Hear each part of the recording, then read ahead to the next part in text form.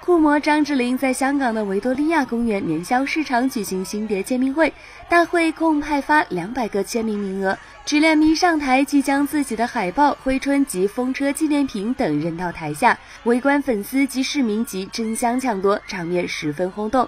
智恋见群情如此汹涌，随即说笑表示：“我的纪念品可以镇家宅，保平安。”我其实蛮紧张的，因为人真的非常非常的多。可是我觉得大家看着我的目光都是非常的友善，所以啊，我待会也会慢慢好好好的签，不会很乱，不会很急的，慢慢的做好这个事情。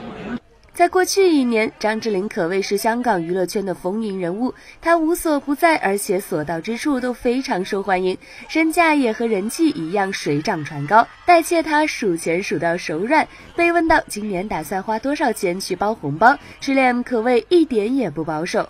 呃，我相信绝对需要六位数字了吧，因为我是觉得去年我觉得是一个很丰收的一年，我觉得愿意。呃，跟大家分享一下嘛，对，很好这个事情。